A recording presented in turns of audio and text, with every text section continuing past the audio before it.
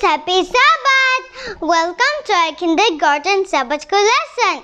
Today, the title of our Sabbath school story is Best Friends.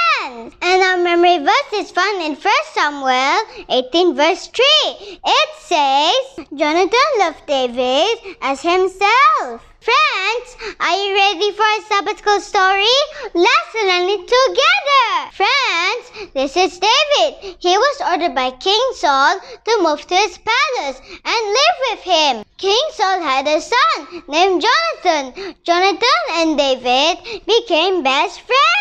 The people of Israel loved David and then made King Saul jealous. King Saul became so angry and tried to hurt David. Your father is trying to hurt me. It's not true.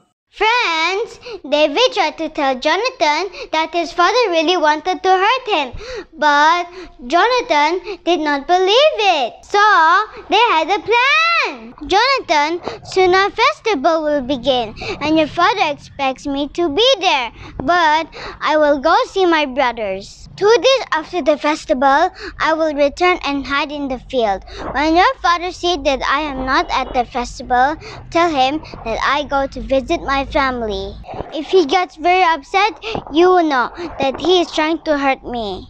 Alright, hide by the stone pile in the field. If my father is trying to hurt you, I will tell you. Here's my plan.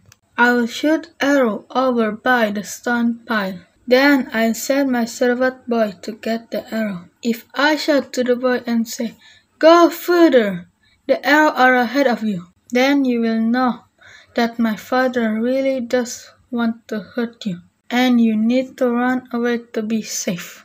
Friends, when King Saul sat down for the festival dinner, he saw that David's chair was empty. The next day at dinner time, King Saul saw that David's chair was still empty. He turned to Jonathan and said, Hmm, where is David? Where is David? As long as he still lives, you will never be the king. Go and get David. I want to destroy him.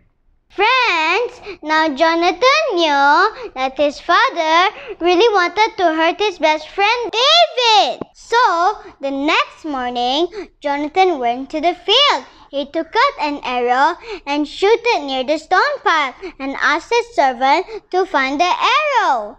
Run further. The arrow is ahead of you. Then, Jonathan and David met each other to say goodbye. We may not be able to see each other for a while, but we will still be friends. Yes, we will be best friends forever. Promise?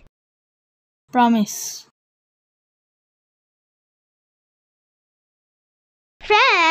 The story of David and Jonathan is an example of what true friendship really is. So, let us learn to love our friends as God loves us.